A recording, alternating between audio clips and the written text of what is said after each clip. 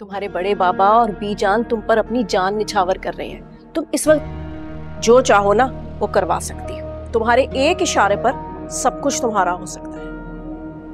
मेरा या फिर आपका और डैड का?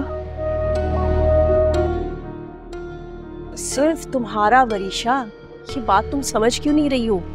सिर्फ़ और सिर्फ़ तुम्हें ये चीज़ें अपने लिए हासिल करनी है हमारे लिए नहीं। अल्लाह, मामा, मुझे नहीं चाहिए कुछ भी, मुझे कुछ नहीं चाहिए। अगर आप चाहती है ना कि मैं ज़िंदगी में कुछ हासिल करूँ तो ये ख्वाहिश नहीं है मेरी, मुझे वापस जाना है। नहीं चाहिए मुझे ये सब कुछ।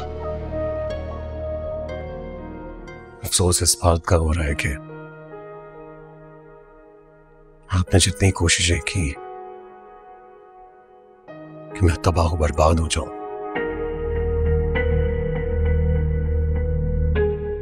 सब खाक में मिल गई। खुशी तो मुझे हुई थी।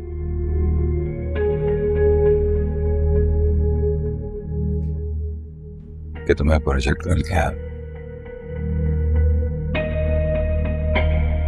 लेकिन जिस घुमंड के साथ मेरी आँखों में आँखें डालकर तुम मुझे सलील करने आए हो ना? पूरे ऑफ़िस में मिठाइयाँ बांट कर अपने लिए तालियाँ बजवा कर क्या साबित करना चाहते हो? अरे नहीं बेजान ऐसा कुछ भी नहीं है। कारोबार में उतार चढ़ाव तो चलते ही रहता है। लेकिन बेटा अगर रिश्तों में आ जाए ना तो मुश्किलात में बहुत इजाफा हो जाता है।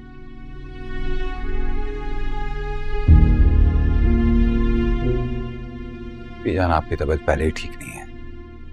आप ज़्यादा इन बातों के बारे में मत सोचें तो बेहतर है। बेटा वहाँ जो शिफा बहुत याद आ रहे हैं। उन्हें बुला लो। अपनी जिद छोड़ दो बेटा।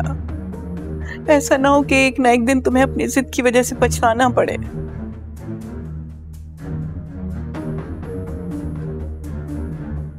औलाद की दूरी ऐसे जख्म देती है जो कभी भर भी नहीं पाते।